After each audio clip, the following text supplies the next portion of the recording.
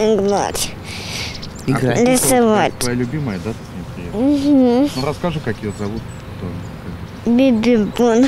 Жизнерадостный ребенок с обычными для этого возраста интересами. До тех пор, пока Маша сидит на месте и не пытается куда-либо пойти, не каждый человек со стороны догадается, что у девочки страшный диагноз – детский церебральный паралич. Где-то до полугода развивалась а как, ну, как обычные дети. Где-то нач... меня начали сомнения по- посещать, то, что там переворачивалась плохо, там говорили, что недоношенная, дого- догонит к году. Потом уже... А потом невролог уже 8 месяцев нам сказала, что до года поставить вроде бы как ДЦП мы вам не можем.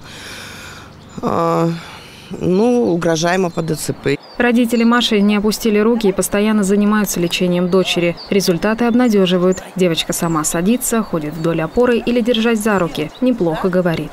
Она научилась, но немножко деда помогает. Вот.